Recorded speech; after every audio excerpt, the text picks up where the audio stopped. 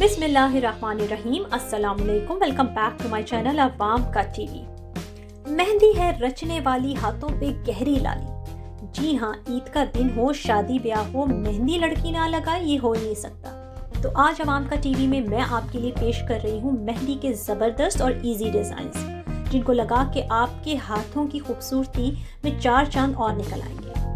तो चलिए मेरे साथ मिलकर ये वीडियो एंजॉय कीजिए और मेरा इतना हक तो बनता है कि आप मेरे चैनल को करें सब्सक्राइब मेरी वीडियो को करें लाइक और शेयर और बेल आइकॉन का बटन ज़रूर दबा दें, मेहंदी सूखने के बाद।